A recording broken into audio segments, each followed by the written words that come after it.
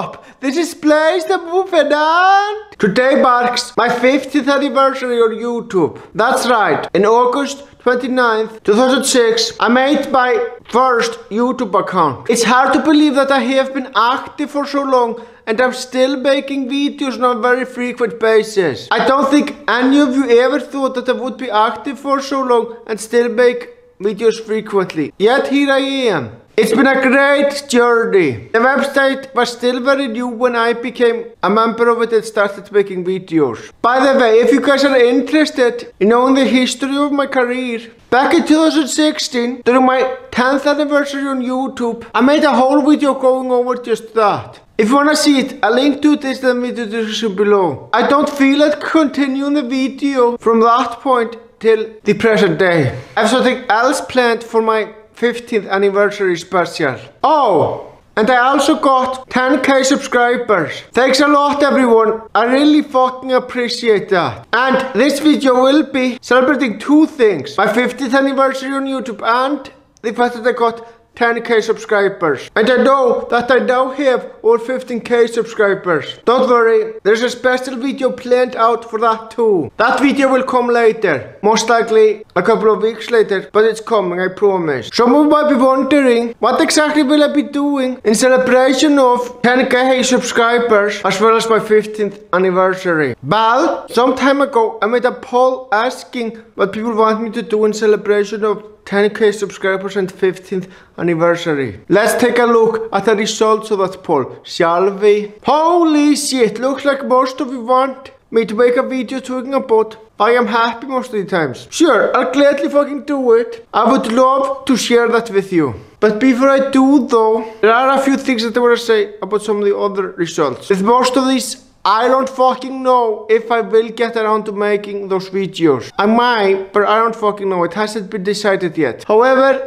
there is one video that has been decided which will be coming in 2022 for sure. I will for sure make a video explaining why I'm a centrist and make a video talking about my political stance. Hell yeah. I will probably get some hate for what I say in that video. But you know what? That's just expected. Heat comes with political discussion. There is nothing you can do about it. And you know what? I can handle that. Also, for most of 2022, I will be making top 50 greatest moments of a season of The Fairly Odd Parents. One a month at a time. And let me assure you that I don't respect Bert Hartman at all. Fuck him, he's a cunt. But I am able to separate the art from the artist. And I still think that The Fairly Odd Parents is a great fucking show. That is the main reason why I'm gonna finish all my counters of the greatest Fairly Odd Parents moments each season next year. That's gonna be fun. Alright, there is nothing else to say, so let's just start with the main damn topic of the video. Let's go. Firstly, I would like to say that yes, I am happy most of the times in my videos. I understand that it's not easy to tell at all, so I suck at showing emotions. And I have desperately tried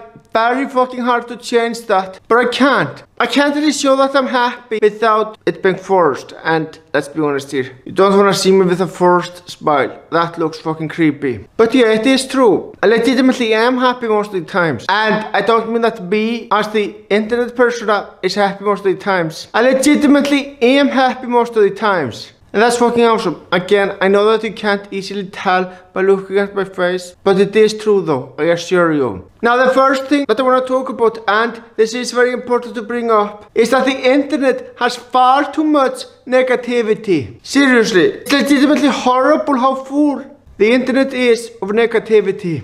The first thing that I want to bring up is movie reviews. When you look for movie reviews on YouTube, how many positive reviews can you find? Now look, if you look for movie reviews on YouTube, how many negative reviews can you find? The amount of positive reviews isn't even one tenth of the amount of negative reviews you can find on YouTube. And that's just sad. There are far more negative reviews on YouTube than there are positive. I mean, don't get me wrong, I'm not saying that positive reviews don't exist on YouTube and there aren't many of them. There are. But there are far fucking more negative movie reviews on YouTube, which is beyond sad. I know why that is. People think that negative reviews are more entertaining than positive reviews. I don't agree with those people at all.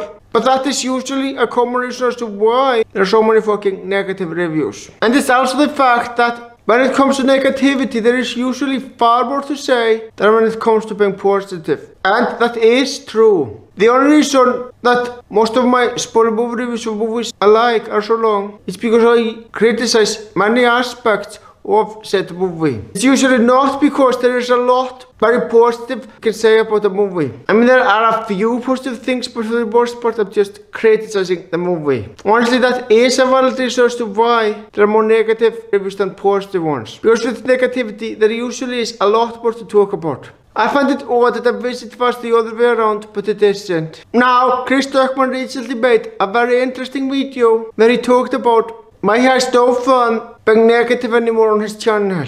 And you know what? I agree with him. Like I made clear earlier, there is far too much negativity on YouTube. So seeing Chris Stuckmann focusing less on negativity and more on positivity is something to fucking respect about him for sure. Yeah, there's a fucking reason why he stopped making his annual worst movies of the year list. What I also respect about him is that he is willing to give obscure movies more exposure. Is a great thing because he is a very popular channel. If he talks about a movie, it is by default not obscure anymore since a lot of people will be fucking aware of it. Nice job, Stuckmann. I'm proud of you. Honestly, I find that video so interesting that I am gonna respond to it next year since I already got the rest of the year planned out.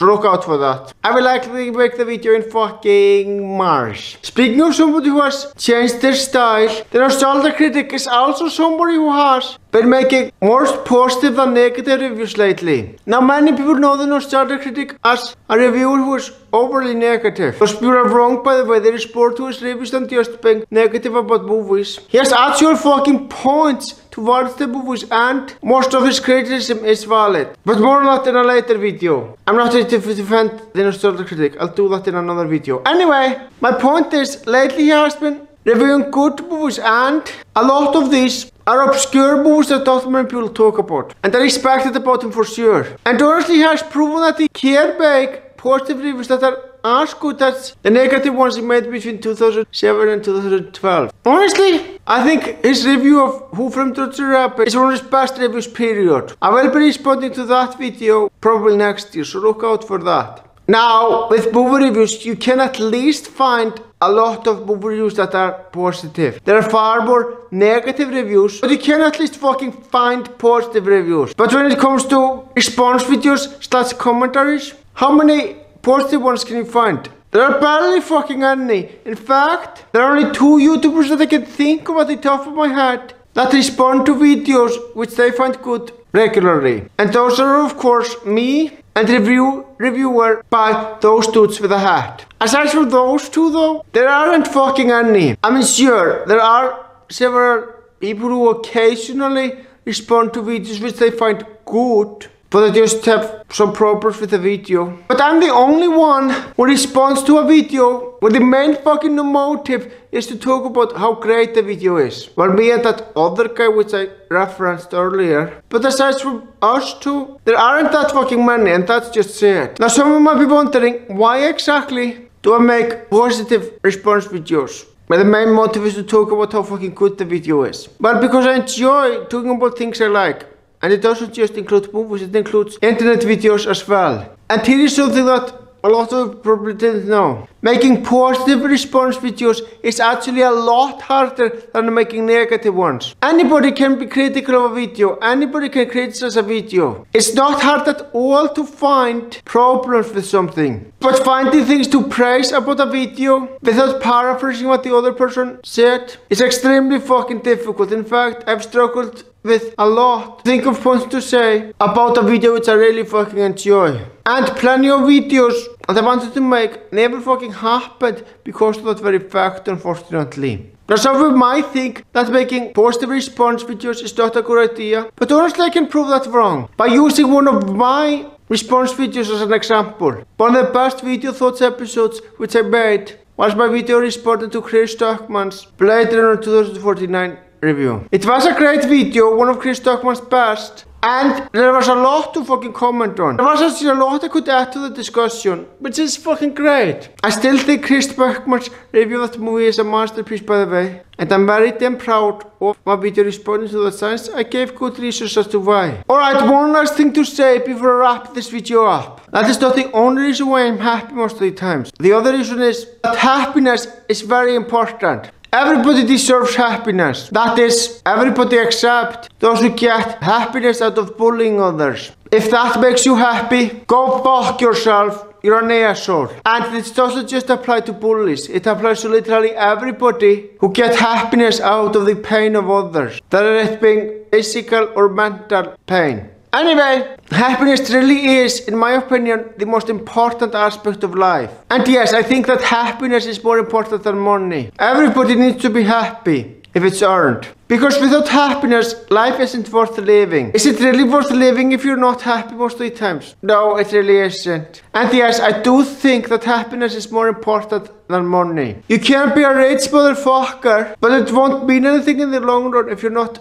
happy. You can own a fucking mansion, have your own butler, and even have a huge collection of helicopters. But none of that will mean much if you aren't happy. So yeah, happiness is fucking important in life. That makes life worth living. And that is why I'm proud of the fact that I am fucking happy most of the times. Hell yeah. That's all I gotta say. Thank you all for watching and you all have a fantastic day.